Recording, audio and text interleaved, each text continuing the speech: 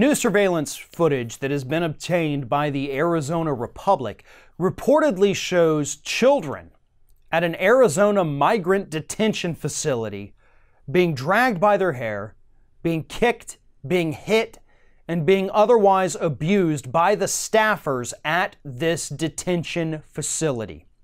Now, originally, the Maricopa Sheriff's Office, who oversees this facility, it's in their jurisdiction, um, they had said that they saw no evidence whatsoever in any of the surveillance to suggest that anybody's being abused, and therefore it should not warrant an investigation. However, after the, the Arizona Republic obtained these surveillance videos, the Maricopa Sheriff's Office decided to go back and look at it again, and they said, Oh my God, you're right, there is some abuse. We're going to go ahead and launch an investigation. Thanks for making us aware of this. Now, there's several things to take in from this, and we will get to the most important last. But the first is that here we have an instant where the press, Arizona Republic, got a hold of their surveillance videos to confirm our worst fears. It is because of the pressure from the press that the Maricopa Sheriff's Office is now being forced to launch an investigation. They did not want to do that, but now that this is becoming public knowledge, they have no choice but to look into it. And the third, and obviously the biggest and most disgusting thing, is the treatment of these children and other migrants in these detention facilities. And this has to be day one stuff for the Democrats taking over the House of Representatives. You guys take over tomorrow. I want to see subpoenas by the end of the day, or at the very least at the end of the week. Two days.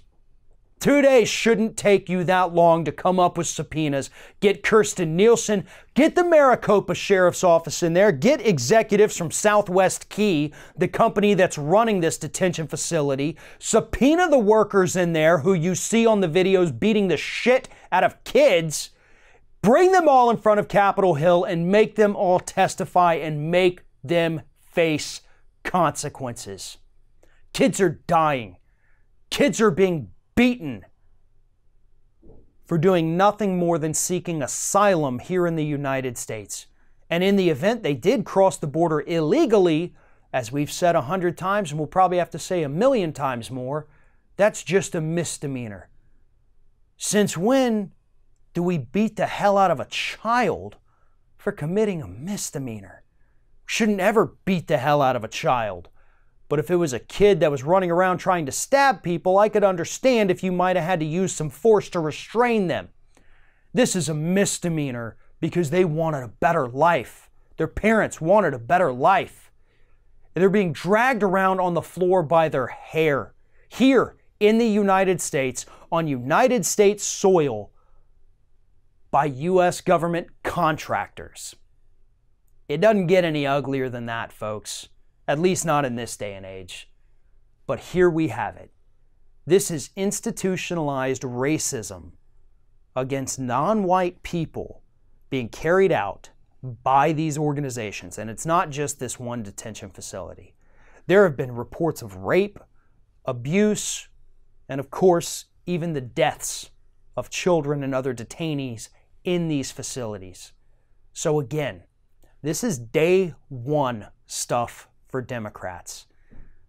This, to me, right now, given the severity and the urgency of it, this should be the number one priority of the new Congress because this is something you could fix relatively quickly. Climate change is number two on the list, if not one and a half. But this is something we can correct within the next month. And that is why this has to be the first thing Democrats do when they retake that house tomorrow.